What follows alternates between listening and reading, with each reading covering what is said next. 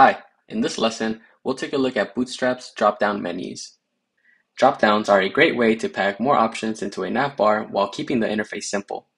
By adding the drop-down Bootstrap class to navigation buttons within a div element, you can quickly add a drop-down menu with a clean style.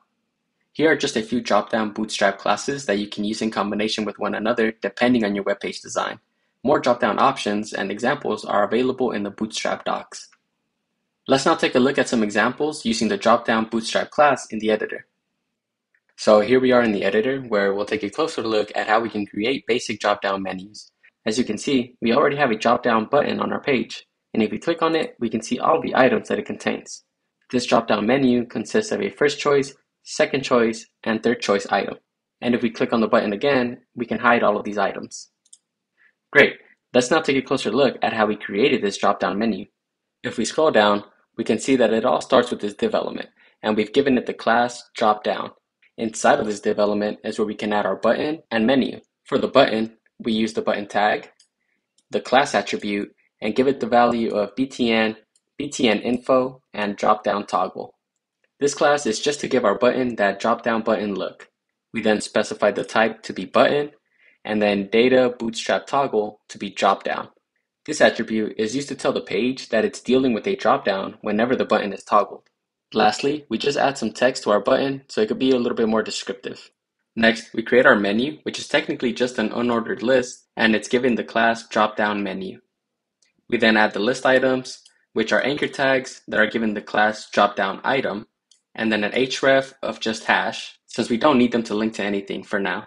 And that's how we can create a basic dropdown menu. Let's now add another drop-down menu by creating each element one by one. So just like before, we'll start with a div element and give it the class dropdown.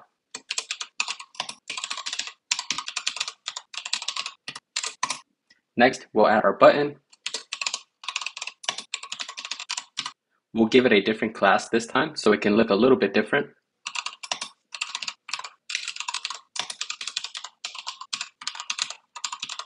Okay, then we'll make the type equal button.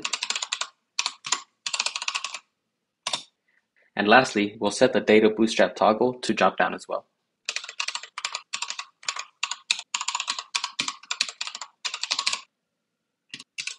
We'll add some text to this button as well.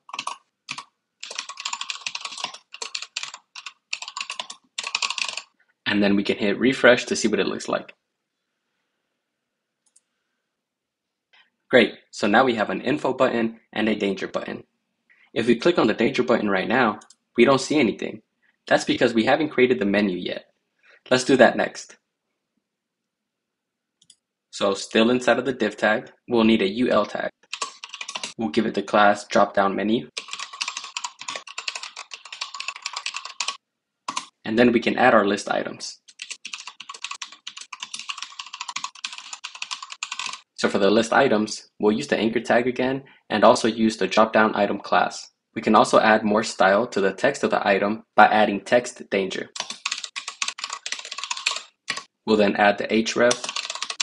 We'll make it hash as well, and then the text. Great, let's now refresh the page and see what we have.